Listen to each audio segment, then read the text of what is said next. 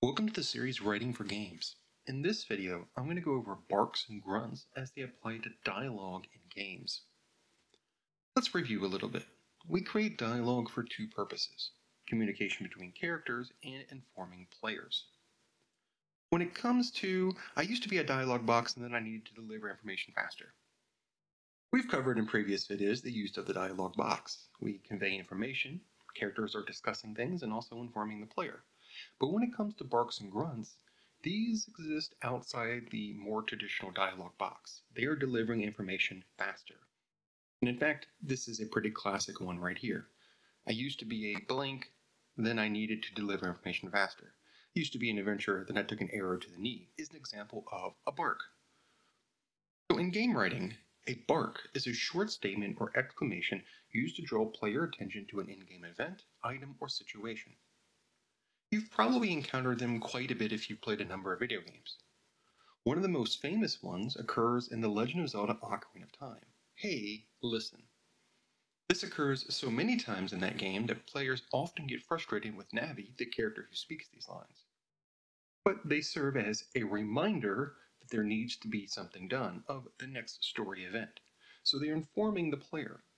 But they're also communication between Navi and Link. Barks are the most common thing encountered by a player and often the most difficult to write. When we're having communication between two different characters or writing dialogue for them, we can often set it within a scene. We can give them some context. They're discussing some topic or making some plans. When it comes to barks, they can be a little more complicated because they're not always necessarily time sensitive or tied to a particular setting or tied to a particular scene. So let me show you what I'm talking about. In the game Skyrim, the various guards in the game, if you visit, the various cities, have hundreds of barks. And there's a link here if you want to go check them out. Guards comment on everything from what the character is wearing to the various statuses of the quest. The goal of all of these, the huge number of them, is to constantly remind the player of world events oh, there's a dragon, oh, you're wearing this particular type of armor. They constantly remind the player without hopefully becoming too annoying. Although, as the previous example pointed out about the arrow to the knee, they can sometimes get a little silly in their repetition. But the goal is to draw attention, but not too much attention.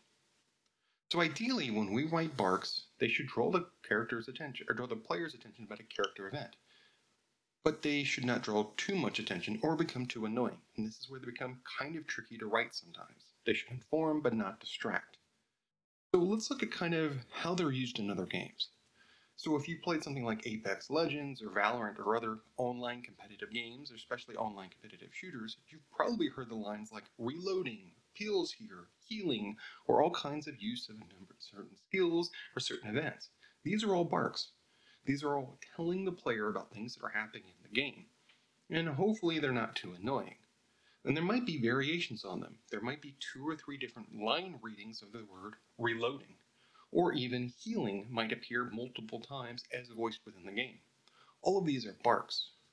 In the Dragon Dogma series, pawns, which are a type of character within the game series, often bark, that is, give information about what's going on. Hey, there's a treasure chest. Hey, there's a ladder. I wonder what's over there. Enemies are incoming.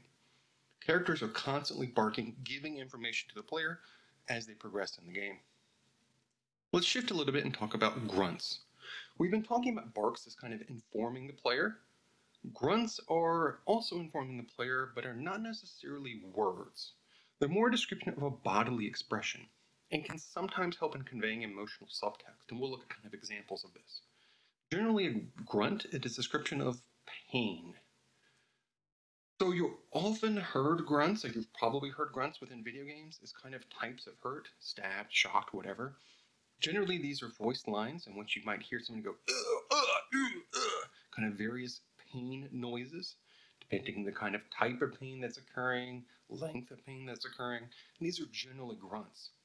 Although some games use it as a kind of vocal shorthand. So in games where not every line is voice acted, and there are a large number of them that are not fully voice acted, grunts can help serve as kind of a vocal shorthand. Let me kind of show you what I'm talking about. In some of the more recent Yakuza games, instead of voice acting every line, they were here um, onomatopoeic expressions instead of voice dialogue.